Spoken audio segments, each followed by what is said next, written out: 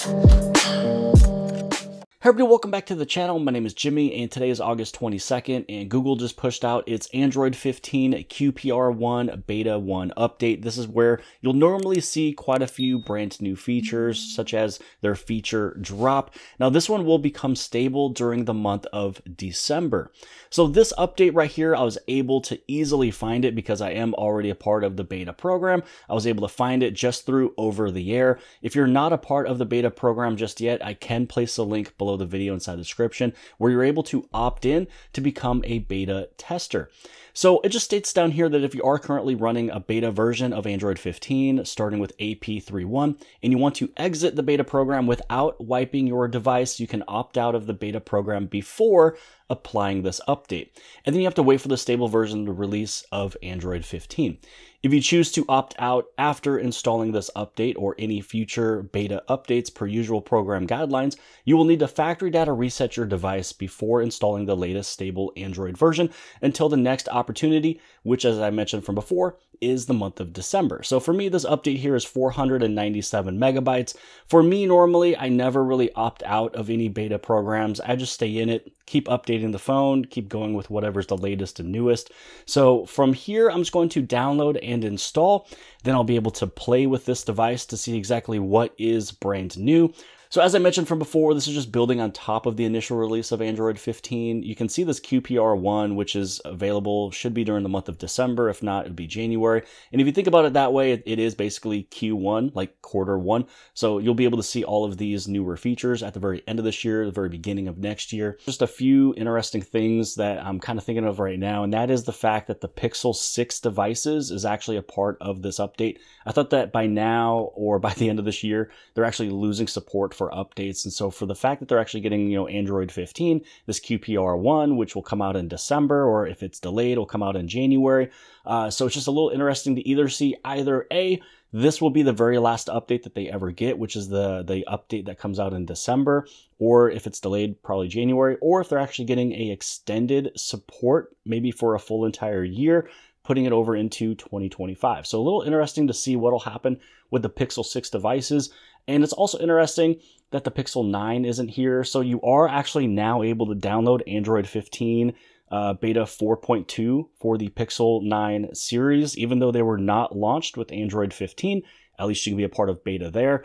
And then on top of that, the fact that we are not with a stable Android 15 just yet. So maybe that's coming either within the next couple weeks or maybe early September.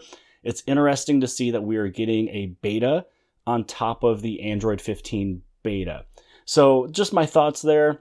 Uh, my guess is maybe the Pixel 9 came out a little early. Maybe it was released, you know, a whole month before it should have, and then everything would kind of make a little bit of sense after that. So after the update, we are sitting on Android 15 with the security patch sitting on August 5th of 2024 and the build number now is AP41 and it ends with 726 009 now, one change with this update is a different animation when you first unlock your device after an update. So you'll see this little icon right there. So that little loading animation you'll be able to find when you do big updates like the one we just did here as it's loading to get into the device. You'll also be able to find it if you were to either restart your phone, turn off your phone, and then you have to put in your password. So as it's loading, instead of just showing the wallpaper immediately, you will see that little loading interface. Another small change that happened with this update is if you're inside of some of your settings, settings or some applications and you have your keyboard up, if you were to swipe back, you'll actually see that little predictive back UI. And what'll happen now is your keyboard will go down just a little bit. So it goes down a little bit when you pop it out and then a little bit more when you go even further. So beforehand, it would either do absolutely nothing or the keyboard might actually move over to the left a little bit. Now, it doesn't do it in every single screen that I found. So let's say that we just go inside of settings right here. Uh, if we were to swipe back, you'll be able to see that it works there. Now, there is a few different areas of the phone and maybe some applications where this doesn't really have that little UI of moving the keyboard down. So for example, this right here was the My Files application. When I was a swipe on, you can see that it does not you know, recede and go down a little bit. It actually just all stays in place.